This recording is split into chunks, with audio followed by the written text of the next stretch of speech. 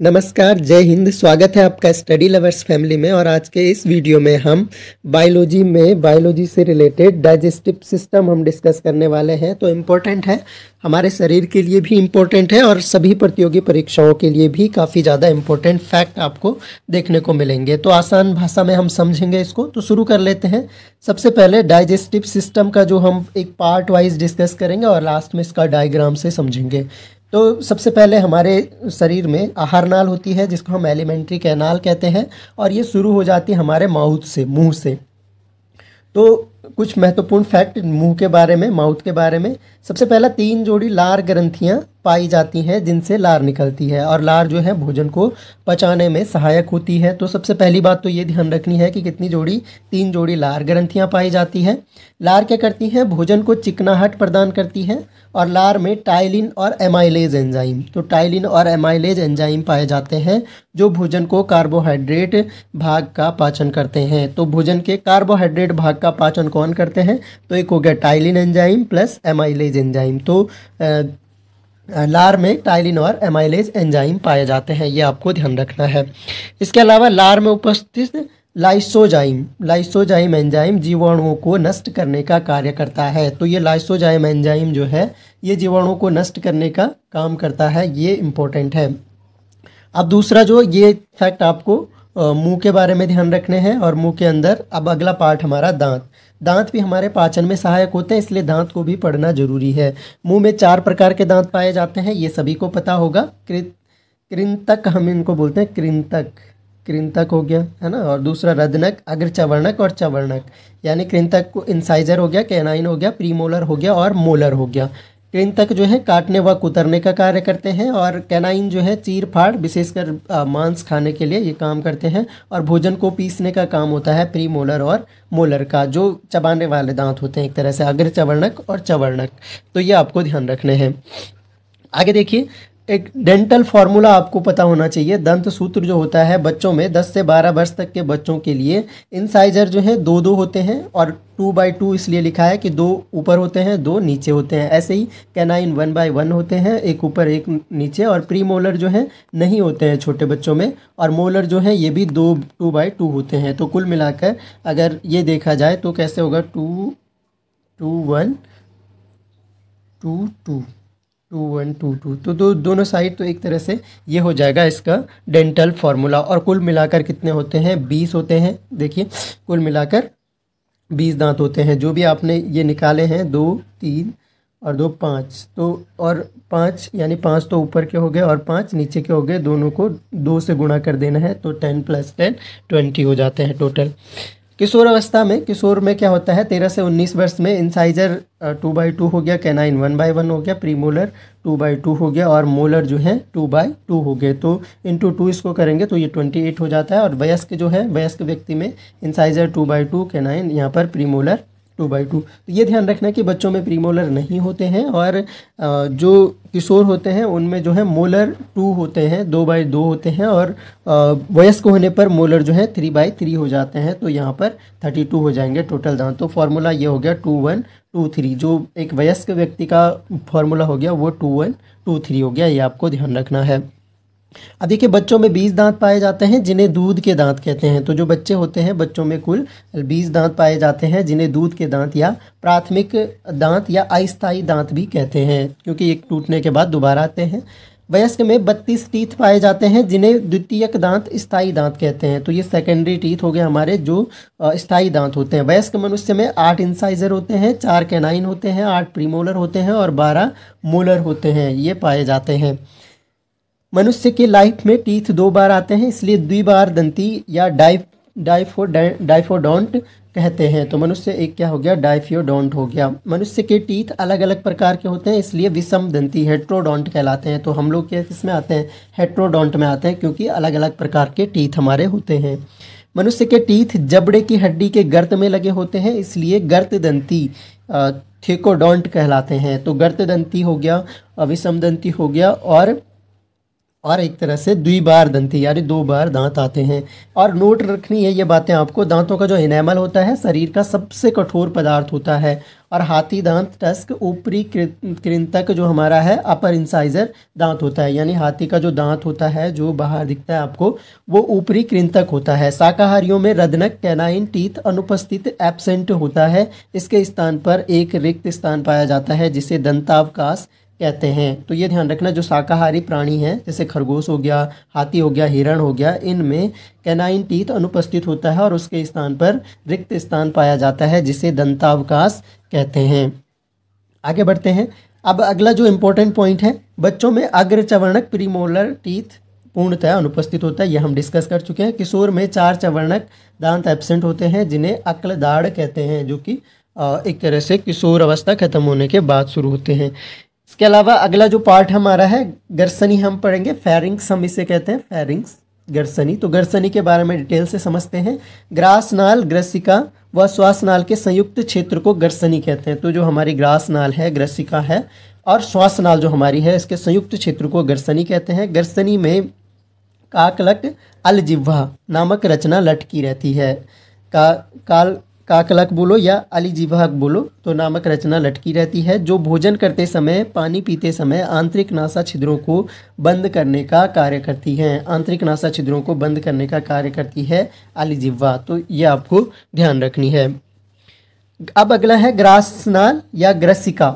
Oesophagus भी हम इसे कहते हैं ईसोफेगस इसका काम क्या है? ये ध्यान रखिए एक पॉइंट ग्रसिका आहार नाल का वह भाग है जिसमें भोजन का बिल्कुल भी पाचन नहीं होता है। केवल क्या करती है? ये भोजन को नीचे पहुँचाने का कार्य ईसोफेगस से भोजन जो है स्टोमक में जाता है। इतना ही काम इसका है, लेकिन यहाँ पर भोजन का पाचन बिल्कुल नहीं होता है। क्वेश्चन पूछा जा सकता है कि कौन सा पार्ट इनमें से है जिसमें भोजन का पाचन बिल्कुल नहीं होता है? तो वो ग्रास नाल या ग्रसिका बोल सकते हैं ईसोफेगस बोल सकते हैं।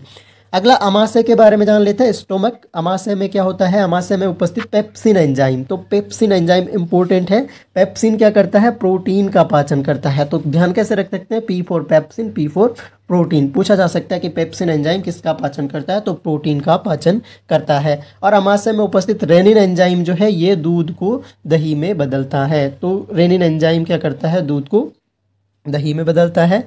अब देखिए, दूध जो है, घुलनशील प्रोटीन कैसिनोजन इसमें होता है और रेनिन एंजाइम से अगर ये रिएक्ट करता है तो क्या हो जाता है? दही अघुलनशील प्रोटीन केसिन बन जाता है। तो ये आपको यहाँ पर ध्यान रखना है। आगे बढ़ते हैं। बच बच्चों में एंजाइम पाया जाता है, जबकि वयस्कों में रेनिन एंजाइम एब्सेंट होता है, क्योंकि बच्चों को क्या होता है, ज़्यादा दूध का सेवन करना होता है तो बच्चों में खासकर जब छोटे रहते हैं तो बच्चे वो केवल दूध ही पीते हैं तो उनके शरीर में रेनिन एंजाइम पाया जाता है, जो कि दूध को पचाने में सहायक होगा। वयस्कों में रेनिन के स्थान पर एचसीएल का निर्माण होने लगता है। वयस्कों में क्या होगा, हमारे शरीर में हाइड्रोक्लोरिक एसिड बनने लगता है, और एचसीएल का निर्माण जो है, अमाशय में उपस्थित अम्लीय कोशिकाओं के द्वारा होता है। तो एच का निर्माण कैसे होता है कि हमारे अमाशय में ही अम्लीय कोशिकाएँ होती हैं, उनके द्वारा होती है। और अगर आपसे ये पूछा जाए कि हमारे शरीर में HCL का निर्माण कहाँ पर होता है तो ये भी अमाशय में होता है, ये आपको ध्यान रखना है। अमाशय में उपस्थित मुख्य कोशिका या जाय जाय भोजन कोशिकाएँ निष्क्रिय एंजाइम पेप्सिनोजन का श्रावण करती हैं। तो पेप्सिनोजन का श्रावण भी कहाँ मोटा मोटा अमाशय में ही होता है, ये भी आपको ध्यान रखना है। अमाशय के चारों ओर उपस्थित स्लेस्मा की झिल्ली म्यूकस मेम्ब्रेन अमाशय को स्वपाचन से रोकती है। तो म्यूकस मेम्ब्रेन जो होती है, वो अमाशय को स्वपाचन से रोकती है, यानी स्वतः पाचन करने से रोकती है। अगला जो पार्ट है, अगला पार्ट हमारे पास है, छोटी आंत स्मॉल इंटेस्टाइन। तो स्मॉल इंटेस्टाइन के ये भाग हैं गृहणी हो गया डिओडेनम इसको बोलते हैं, अग्र क्षुद्रांत जीजोनियम इसको बोलते हैं, और इलियम जो है, क्षुद्रांत हो गया इसको इलियम कहते हैं। तो इलियम, ड्यूडोनियम और जीजोनम, ये एक तरह से तीन संरचनाएँ जो है, छोटी आंत के ही भाग हैं। तो छोटी आंत के भाग हैं ये। अब यहाँ पर देखिए, इनके क्या कार्य होते हैं? छोटी आंत के गृहिणी वाले भाग में भोजन का सबसे अधिक पाचन होता है। तो ड्योडेनम में सबसे अधिक पाचन होता है और ग्रहणी एक यू आकार की नलिका होती है, जिसमें अगन्याशय ग्रंथि लगी होती है। तो ग्रहणी क्या है? यू आकार की नलिका है, जिसमें क्या है? पैंक्रियाज ग्रंथि और पैंक्रियाज ग्रंथि हमारी इंपॉर्टेंट होती है। पैंक्रियाज ग्रंथि क्या है? एक अग्न्याशय एक ऐसी ग्रंथि है जो आपकी अंत शराबी भी है और बही शराबी भी है। तो एंडो एंडोक्राइन भी है और एक्जोक्राइन भी है। यानी ये क्या करती है? एंजाइम का सिक्रेशन भी करती है और हार्मोन को भी सीक्रेट करती है। तो यहाँ पर देखिए, अब पेंक्रियाज के बारे में थोड़ा सा पढ़ लेते हैं। पेंक्रियाज जो है अग्न्यास से अग्न्यास से रस पेंक्रियाज जूस निकालता है और अग्न्यास से रस में क्या क्या होता है? कार्बोहाइड्रेट होता है एमाइलेज होता है, वसा होता है, वसा कौन सी? लाइपेज होता है। और प्रोटीन जो है प्रोटीज कार्बोक्सीपेप्टाइज और न्यूक्लिक अम्ल न्यूक्लियस को पचाने वाले एंजाइम पाए जाते हैं। तो ये क्या है? जो पेंक्रिया जूस है हमारा, या अमाशय अग्न्याशय रस है उसमें एमाइलेज लाइपेज प्रोटीएज न्यूक्लियस ये इनको कार्बोहाइड्रेट को पचाने के लिए लाइपेज वसा को सॉरी एमाइलेज वसा को लाइपेज प्रोटीन को प्रोटीएज और न्यूक्लियस न्यूक्लियक अम्ल को पचाने वाले एंजाइम यहाँ पर पाए जाते हैं। इसलिए अग्न्याशय रस को पूर्ण पाचक रस कंप्लीट डाइजेस्टिव जूस कहते हैं। तो अग्न्याशय रस जो है, इसको हम पूर्ण पाचक रस भी कहते हैं वेरी इंपॉर्टेंट है, ये आपको नोट रखना है। अब अगला पार्ट हम डिस्कस करते हैं, अगला हमारे पास है लीवर या यकृत। सबसे इंपॉर्टेंट है यकृत हमारा। यकृत में क्या होता है? बाइल जूस का निर्माण होता है, यानी पित्त रस का निर्माण होता है। पित्त रस का संग्रह जो है, ये पित्ताशय या गॉल ब्लैडर में होता है। इंपॉर्टेंट चीज़ है, पहली बात पूछा जाएगा, बाइल जूस का निर्माण कहाँ होता है? तो यकृत में होता है और यकृत सॉरी पित्त रस का जो संग्रह है, वो गॉल ब्लैडर में होता है, पित्ताशय में होता है। पितरस मल पदार्थों को पीला रंग प्रदान करता है तो जो मल पदार्थ हमारे पीले रंग के होते हैं, वो बाइल जूस के कारण होता है। बाइल जूस का कलर भी पीला होता है तथा वसा का पाइसीकरण करता है। तो वसा का पाइसीकरण इमल्सिफिकेशन के लिए भी कौन उत्तरदायी होता है? बाइल जूस उत्तरदायी होता है, पित्त रस उत्तरदायी होता है। अब आगे देखिए पित्त रस में किसी भी प्रकार का एंजाइम नहीं पाया जाता है, जबकि अगन्याशय रस में सभी प्रकार के एंजाइम पाए जाते हैं। अंतर है पित्त रस और अगन्याशय रस में। पित्त रस में ये ध्यान रखना है कि कोई भी एंजाइम नहीं है इसमें, और अगन्याशय रस में सभी प्रकार के एंजाइम पाए जाते हैं। पित्त रस में दो वर्णक पाए जाते हैं वर्णक, यानी जो इसको कलर प्रदान करता है, वो दो वर्णक पाए जाते हैं। एक तो बिलीरुबिन, जिसके कारण पीला रंग देता है, और बिलीवर्डिन, जिसके कारण हरा रंग देता है। तो इम्पोर्टेंट है, बिलीरुबिन पीला रंग और बिलीवर्डिन हरा रंग। तो पित्त रस में दो वर्णक पाए जाते हैं। अब आगे देखिए, सबसे इम्पोर्टेंट पॉइंट यहाँ पर है, यकृत के खराब हो जाने से पीलिया पीलिया जो जॉइंडिस रोग हो जाता है। अगर यकृत हमारा खराब हो जाता है तो क्या हो जाता है? कामला जॉइंडिस या पीलिया रोग हो जाता है तो ये आपको ध्यान रखना है। आगे बढ़ते हैं, और अब हम डिस्कस कर लेते हैं बड़ी आंत। बड़ी आंत, छोटी आंत व बड़ी आंत के मिलन स्थल पर एक अवशेषी अंग पाया जाता है, जिसे कृमि रूपी परिशोषिका, वर्मी फॉर्म अपेंडिक्स कहते हैं। यानी अपेंडिक्स आप लोगों ने सुना होगा, बहुत बार बोलते हैं ना कि अपेंडिक्स का ऑपरेशन हो रहा है। तो अपेंडिक्स जो होता है आपका, ये क्या होता है? एक छोटी आंत छोटी आंत और बड़ी आंत। तो छोटी आंत और बड़ी आंत को जहाँ पर मिलती है, वहाँ पर एक संरचना पाई जाती है, जिसे कृमि रूपी परिशोषिका कहते हैं या वर्मी फॉर्म अपेंडिक्स कहते हैं। तो ये आपको यहाँ पर ध्यान रखना है। अब अवशेषी अंग है ये एक तरह से। अब देखिए, बड़ी आंत में जल व औषधि का अवशोषण होता है। जल यानी पानी का अवशोषण बड़ी आंत में होगा और जो भी हम दवाइयाँ अगर लेते हैं तो उनका अवशोषण भी कहाँ होगा? बड़ी आंत में होगा। और इम्पोर्टेंट है, ये क्वेश्चन बहुत बार पूछा जा, गया है। बड़ी आंत में ई कोलाई जो है स्टीरिया कोलाई नामक सहजीवी जीवाणु पाया जाता है। स्टीरिया कोलाई नामक सहजीवी जीवाणु जो है, हमारे बड़ी आंत में पाया जाता है। पचित भोजन मलाशय में इकट्ठा हो जाता है। पचित भोजन जो है, कहाँ? रेक्टम। रेक्टम हम मलाशय को बोलते हैं तो मलाशय में इकट्ठा हो जाता है तथा अंत में गुदा द्वार जो एनस से विसर्जित कर लिया जाता है। अब आपको ध्यान रखना है यहाँ से, भोजन के जो पचित रूप है, पचित रूप में मुँह में भोजन बोलस कहलाता है, अमाशय में काइम। काइम अमाशय में कायम हो गया और गृहिणी में कायल हो गया। तो ये भोजन के पचित रूप है। जब मुँह में जितना पाचन हो जाएगा तो उसका नाम बोलस हो जाएगा अमाशय में कायम हो जाएगा और ग्रहणी में कायल हो जाएगा। अब आगे कुछ बातें आपको ध्यान रखनी है। छोटी आंत की लंबाई हमेशा बड़ी आंत से अधिक होती है। छोटी आंत बहुत लंबी होती है बड़ी आंत से और बड़ी आंत की मोटाई छोटी आंत से अधिक होती है। यानी मोटाई में बड़ी आंत बड़ी है और लंबाई में छोटी आंत। तो ये ध्यान रखना है। अब इम्पोर्टेंट है शाकाहारी, शाकाहारियों के आहार नाल मांसाहारियों की तुलना में अधिक लंबी होती है। शाकाहारी जो प्राणी हैं, उनके आहार नाल जो है, मांसाहारियों की तुलना में अधिक लंबी होती है, क्योंकि शाकाहारी भोजन में सेलुलोज उपस्थित होता है, जिसके पाचन के लिए अधिक लंबे आहार नाल की आवश्यकता होती है। अब रीज़न क्या है? अगर पूछा जाए शाकाहारियों की आहार नाल मांसाहारियों की तुलना में अधिक लंबी होती है क्योंकि शाकाहारी भोजन के पाचन के पाचन में हम्म, क्योंकि भोजन में सेल्यूलोज उपस्थित है और उसके पाचन के लिए अधिक लंबे आहार नाल की आवश्यकता होती है।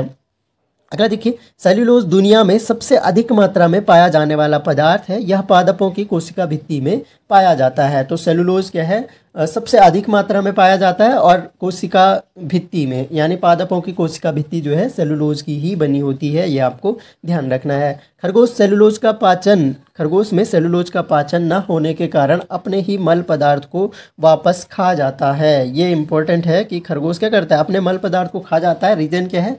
क्योंकि सेलुलोज का पाचन उसमें नहीं हो पाता है, इसलिए अपने ही मल पदार्थ को वापस खा जाता है। इस प्रक्रिया को स्वमल भोगिता कहते हैं। स्वमल भोगिता या कैप्रोफैगी कहते हैं। कैप्रोफैगी या स्वमल भोगिता खरगोश क्या करता है? क्योंकि सेलुलोज का पाचन उसमें नहीं हो पाता है तो अपने ही मल पदार्थ को वापस खा जाता है। तो ये इंपॉर्टेंट फैक्ट हो गए जो कि आपको ध्यान रखने हैं। आपके हेल्थ के पॉइंट ऑफ़ व्यू से भी इम्पोर्टेंट है कि कहाँ पर क्या चीज़। जीवन अवस्थ जीवित अवस्था में आहार नाल की लंबाई पाँच से छः मीटर होती है और मृत्यु के पश्चात इसकी लंबाई बढ़ जाती है सात से आठ मीटर हो जाती है। ये आपको ध्यान रखना आहारनाल की कुल लंबाई बता रहे हैं, पाँच से छः मीटर होती है और मृत्यु के पश्चात सात से आठ मीटर हो जाती है।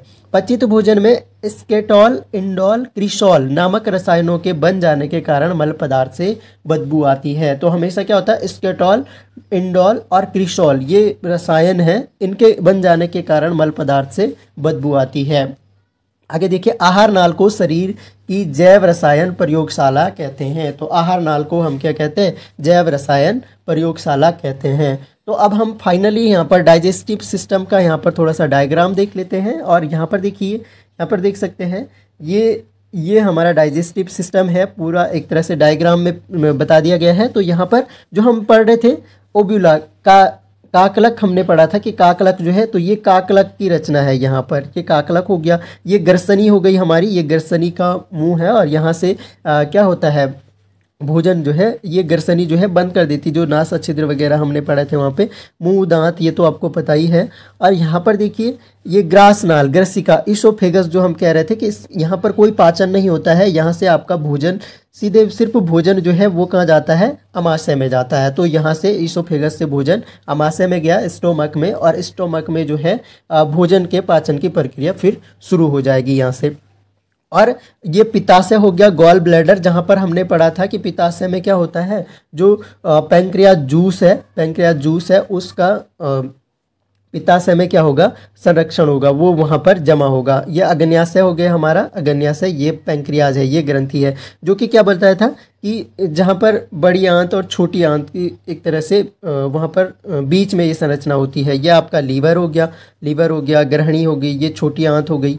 तो ये आपको ध्यान रखनी ये कृमि रूपी परिशोषिका, जहाँ पर क्या बोला था कि बड़ी आंत और छोटी आंत एक तरह से मिलती है तो वहाँ पर क्या होगी कृमि रूपी परिशोषिका हो गया, बर्मी फॉर्म अपेंडिक्स हो गया, ये आपका मलाशय हो गया, गुदाद्वार हो गया, ये लार्ज इंटेस्टाइन हो गया। तो ये पूरा डायग्राम है और आप लोग यहाँ से ध्यान रख सकते हैं कि कैसे जो हमारी पूरी आहार नाल है, ये पूरी आहार नाल मतलब यहाँ से शुरू होकर और यहाँ तक की कुल लंबाई बताई थी पाँच से छः मीटर होती है। तो ये टोटल लंबाई है, न कि बड़ी आंत और छोटी आंत, और हमेशा ये ध्यान रखना है कि छोटी आंत लंबाई में ज़्यादा है और बड़ी आंत मोटाई में ज़्यादा है। तो ये आपको ध्यान रखना है। तो ये हमारा डायग्राम हो गया डाइजेस्टिव सिस्टम का। तो मैं आशा करता हूँ आप लोगों को समझ आया होगा। आप लोगों के एक तरह से इजी वे में आप लोगों ने सीखा होगा। कुछ इंपॉर्टेंट फैक्ट्स आपको सीखने को मिले होंगे। और अगर कोई भी बात आपको लगता है कि समझ नहीं आई है, कुछ भी तरह का डाउट रहता है तो कमेंट बॉक्स में ज़रूर पूछें। आपके सारे सवालों का जवाब दिया जाएगा। और अगर आपको क्लास पसंद आती है तो अपने दोस्तों से शेयर करें और वीडियो को लाइक ज़रूर करें और अगर चैनल पे नए हो तो सब्सक्राइब कर दीजिएगा। Thanks lot for listening. मिलेंगे नेक्स्ट वीडियो में। तब तक के लिए जय हिंद।